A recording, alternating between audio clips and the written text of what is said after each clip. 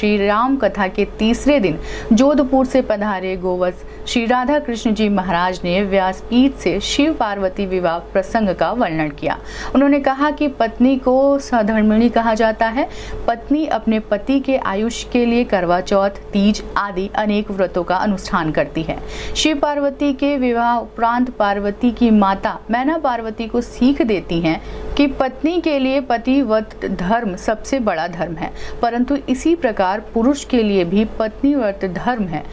पति अपनी पत्नी के अतिरिक्त किसी अन्य को वह स्थान ना दे जो पत्नी का है। पत्नी के संबंध की ईमानदारी ही पत्नीव्रत धर्म है।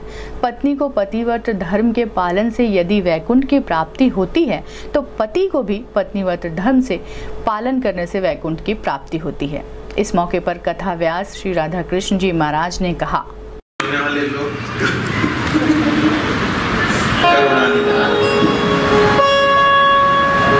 अब आई करुणा निधान।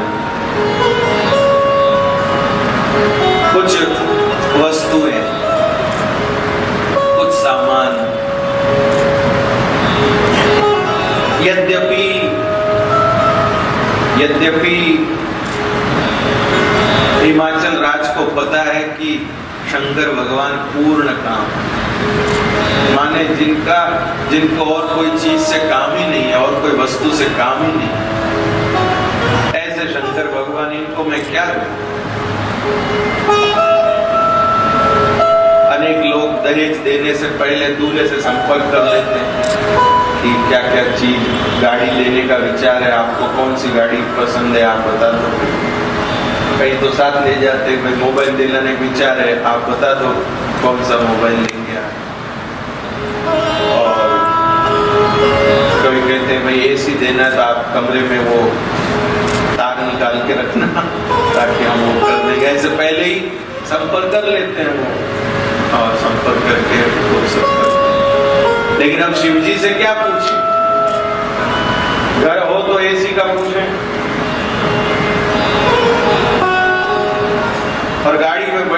जानकारी हो तो गाड़ी का पूछे। और दूसरी चीज़ों का कुछ कोई भूमिका हो तो पूछा भी जाए।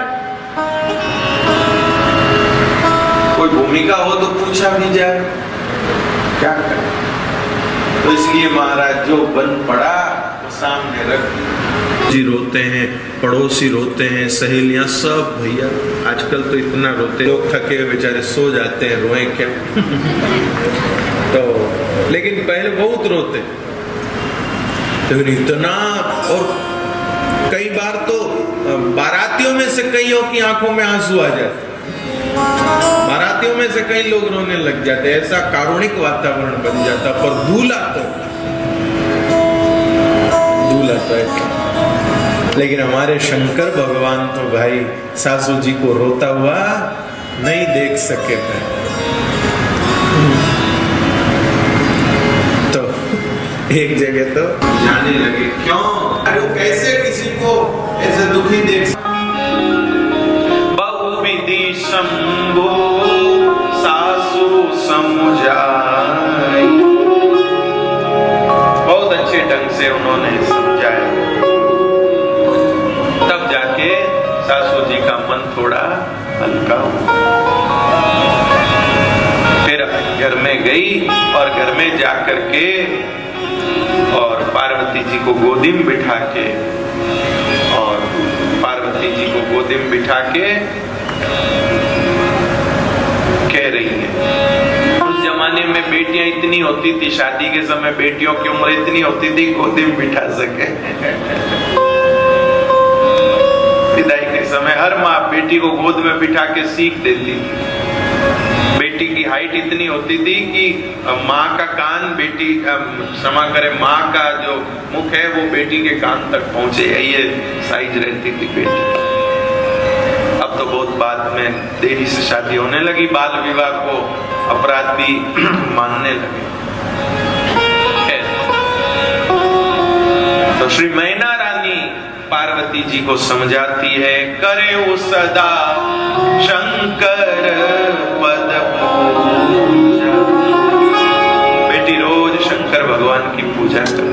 वैसे तो ये शंकर भगवान के प्रति समर्पित ही है। इनको क्या बताने तो ब्याह से पहले ही शंकर भगवान की पूजा कर रही है।